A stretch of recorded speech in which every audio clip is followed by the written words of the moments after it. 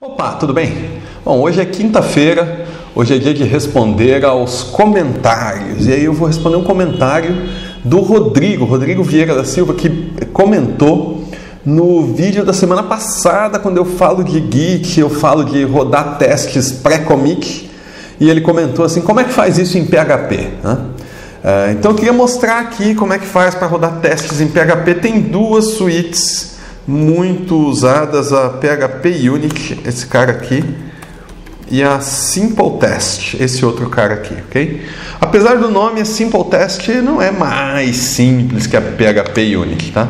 Elas fazem basicamente a mesma coisa e basicamente do mesmo jeito, tá? A PHP Unit é maior, então acho um código um pouco mais pesado para você rodar. Ela tem mais recursos, mas basicamente a gente não usa assim, aqui pelo menos, tanto faz para mim usar uma como outra, ok? Simple Test ou PHP Unit, a sintaxe é bem parecida, é até fácil portar teste de uma para outra e tal. Tá? Então eu vou de PHP Unit simplesmente por ser é, uma suíte mais usada. Então, como ela é mais usada, é, aprender a usá-la vai te dar liberdade numa quantidade maior de projetos. Você vai ter familiaridade com um monte de código que já existe por aí. Mas não tenha medo da Simple Test, tá, cara? É a mesma, mesma coisa, tá? não faz diferença não. Então vamos lá.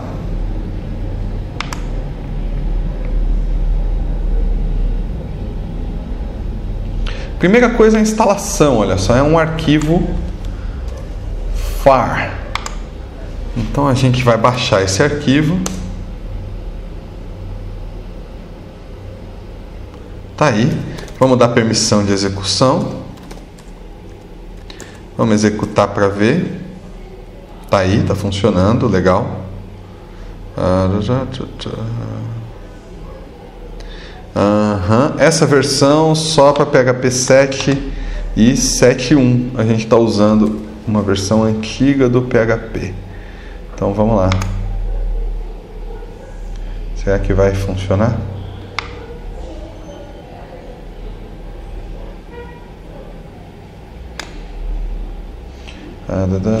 Aqui, ó, tem a versão para rodar no PHP 5. Eu devia migrar para o PHP 7, né?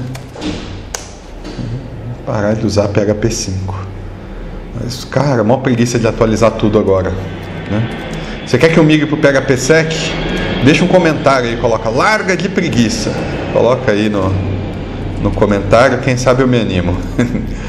Muito bom, PHP Unity, blá blá blá. Aí, agora sim, essa está executando, mostrou aqui todos os recursos e funções e blá blá blá, não é? E eu vou mover esse arquivo para uma pasta de executáveis, mas com outro nome. vou chamar só de PHP Unity. Isso vai me permitir rodar em qualquer lugar PHP Unity e ter meu código rodando. Legal? Bom, vou criar uma pasta aqui chamada teste.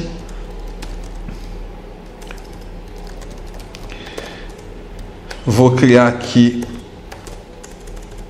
um arquivo code PHP que ele vai ter só uma função chamada soma que recebe A e B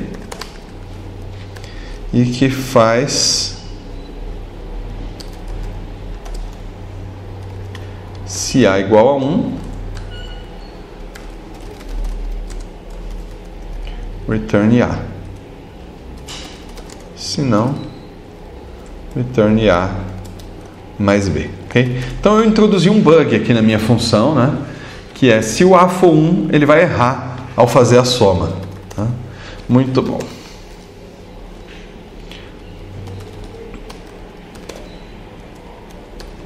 Eu vou criar uma aqui chamada testes PHP.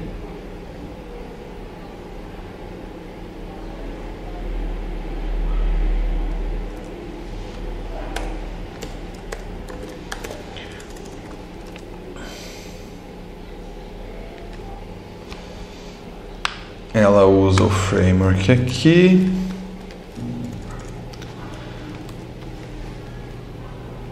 E ela tem uma classe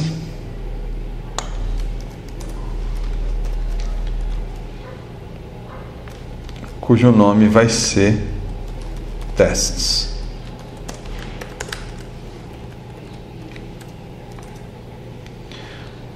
E essa classe ela tem métodos que começam com test.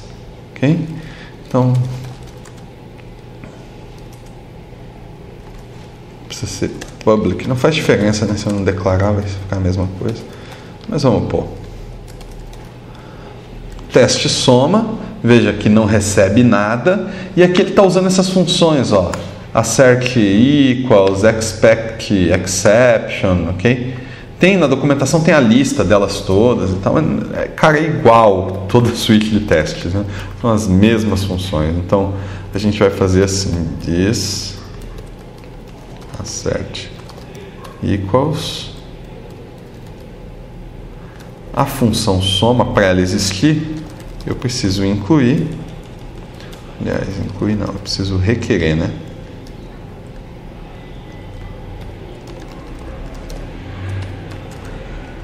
O meu código, senão ela não vai existir. E aí vamos lá, eu tenho que somar 2 e 2, e isso tem que ser igual a 4. Eu tenho que somar 1 e 2, e isso tem que ser igual a 3. Para eu executar o teste, PHP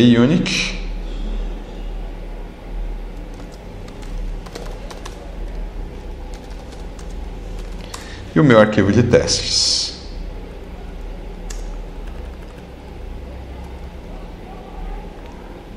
Require. E olha lá que legal. Ok, ele executou e falhou um teste, olha lá. Teste soma. Uh, failed asserting that three matches expected one. Okay? Passou. É, não passou nenhum teste, né?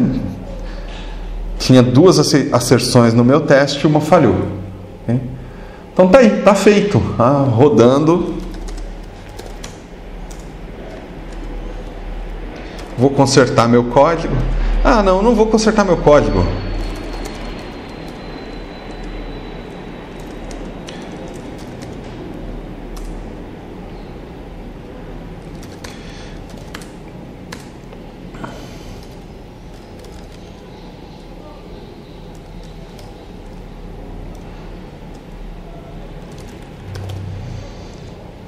Vou editar o pré-commit aqui.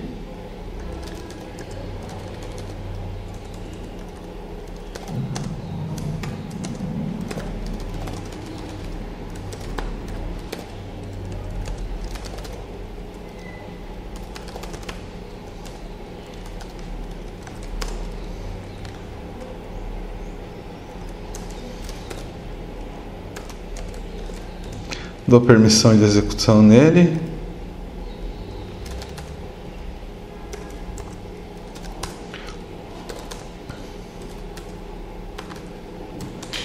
Deixa eu rodá-lo. É isso aí.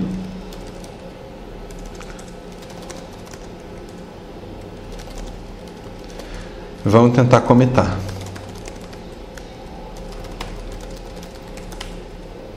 Pum, não comitou, tá vendo? Vou corrigir meu código. Vou rodar os testes. Ok? Agora os testes rodaram, deu tudo certo, não é? Vou comitar. Comitou, tá bom? Igualzinho a gente tinha feito com Python. E cara, é, a próxima pergunta seria: como faz isso com Java? Como faz com JavaScript? Como faz com Ruby? É, do mesmo jeito, tá? Você escreve um código de teste é, usando a biblioteca de teste que você preferir na sua linguagem, no seu ambiente, pode ser o que você quiser. Inclusive, não precisa ser só testes unitários, tá? Você pode fazer outro tipo de teste se você achar que é relevante fazer algum teste é, pré-commit, tá? E aí você coloca esse teste para rodar no, no, no pré-commit lá. E se falhar o teste, você retorna alguma coisa diferente de zero no, no exec. Tá? É isso, tá feito, beleza? Deixa aí seu comentário para eu saber o que, que eu vou responder na semana que vem. Valeu!